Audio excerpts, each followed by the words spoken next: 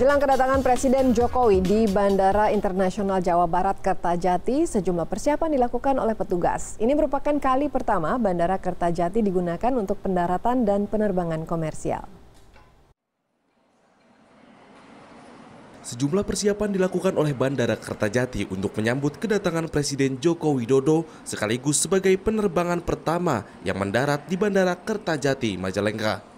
Kamis merupakan soft launching yang dilakukan oleh Bandara BIJB untuk penerbangan domestik karena seluruh sistem dan beberapa fasilitas dari bandara masih ada yang harus diperbaiki.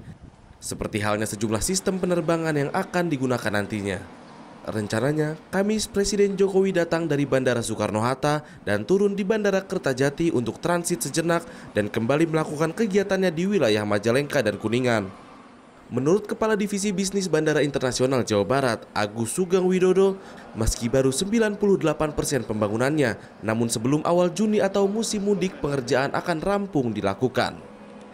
Sarana dan prasarana hampir semua sudah selesai, sekitar 98 persen. Memang ada beberapa titik yang belum terselesaikan, misalnya general cleaning ya, eh, sifatnya yang sulit dijangkau, namun itu terus dipacu dan dikerjakan. Harapan kita memang eh, seperti juga target kita awal Juni atau sebelum proses mudik itu berlangsung kita semua sudah selesai dan sehingga sudah bisa digunakan untuk penerbangan umum. Namun selain tengah mempersiapkan sarana dan prasarana yang ada, pengelola BIJB juga tengah mempersiapkan sejumlah sumber daya manusianya untuk pelayanan maupun pengamanan bandara.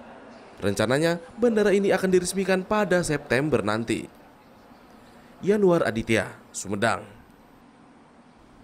Dan sudah ada produser lapangan CNN Indonesia Frankie Wijaya di Majalengka, Jawa Barat untuk melaporkan. Frankie, bagaimana situasi hari pertama di Bandara Kertajati?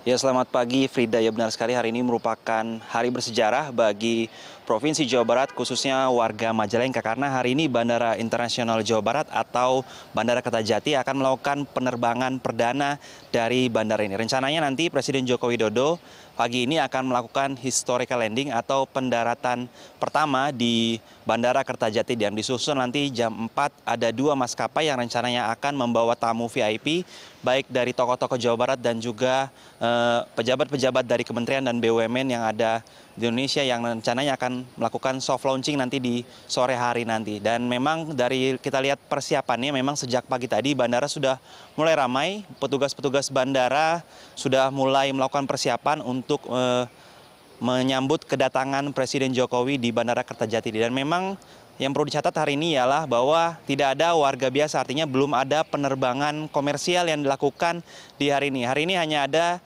historic landing yang akan dilakukan oleh Presiden Jokowi menggunakan pesawat kepresidenan dan dua maskapai yang mengantarkan tamu-tamu yang diundang oleh Bandara Kertajati untuk melakukan soft launching sekaligus mengecek kesiapan dari Bandara Kertajati itu sendiri untuk eh, persiapan mudik nanti. Dari info yang saya dapatkan memang hari ini hanya ada tiga penerbangan tersebut dan juga tidak ada warga. Artinya yang datang ke sini hari ini hanyalah tamu-tamu undangan, tidak ada warga lokal ataupun warga penumpang yang rencana akan melakukan penerbangan ke daerah-daerah yang sudah rencananya akan ditujukan dari bandara ini. Dari saya pantauan di belakang saya ini sudah ada alat-alat standar keamanan yang memang biasa kita hadapi ketika memasuki bandara seperti alat metal detektor, kemudian petugas-petugas yang biasa berjaga di bandara. Artinya seluruh peralatan sudah siap untuk melakukan penerbangan. Namun untuk memastikan apakah eh, bisa digunakan untuk arus mudik nanti, pihak BJB sendiri masih menunggu hasil dari kesiapan hari ini dan juga evaluasi yang akan dilakukan oleh kementerian terkait apakah nantinya bisa digunakan untuk arus mudik. Informasi yang saya dapatkan target mereka yaitu 5 Juni sudah bisa digunakan untuk arus mudik. Namun hal itu bisa jadi lebih cepat atau lebih lambat tergantung dari keputusan kementerian terkait yang mengeluarkan izin operasional bandara. Frida. Baik, terima kasih Frankie Wijaya melaporkan langsung dari Bandara Kertajati.